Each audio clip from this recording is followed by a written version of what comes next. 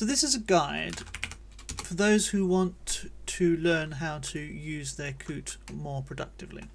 Not everybody wants to do this and not everybody needs to spend the time to learn how to do this. But there are some people who use uh, Coot routinely and it may be worth their while. Uh, it's worth my while um, to learn how to uh, use these techniques. There are three ways in which we're going to customize the interface. The first is edit settings install template key bindings. That gives us a list of uh, have a bit of structure shall we?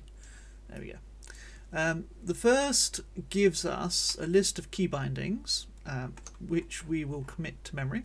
So if we touch these or press these keys on the keyboard then this operation happens um, I've added a few in and uh, I think they are useful they're useful for me when I use Coot Okay, so having committed those to memory, we will pursue uh, the customization. Uh, see here, reset view display manager, go to atom and um, go to ligand. There's a vertical divider. Click right mouse to the right hand side of that divider and we get manage buttons. What we do here is add extra um, buttons into this uh, modeling toolbar. Which ones um, well, that depends on you, but the ones I like for the moment are Sphere Refine, Tandem Refine, and um, Backrub Rotamers. Backrub Rotamers is a toggle, let's turn it on.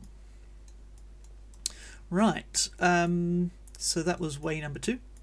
There are obviously other functions um, in that list. The third way is to use curlew, which is the extension wrangler of Coot. So file curlew, and then it goes to query which extensions are available. Um, and there are some that we can install here. Um, obviously, they're all of some interest and some use. Um, the ones we may want to use uh, for this tutorial are um, elaborated add terminal residue, let's say. Um, let's try this one, expand map radius, uh, dynamic validation, refinement tools, keyboard mutate. Um, the there are some other cryo ones that are not really interesting uh, for crystallography. Right. Um, okay. So let me show you what expand map radius does. So if I zoom out a bit, uh, the key binding there is on square brackets. So if I press the square brackets, I can change the radius that's being displayed.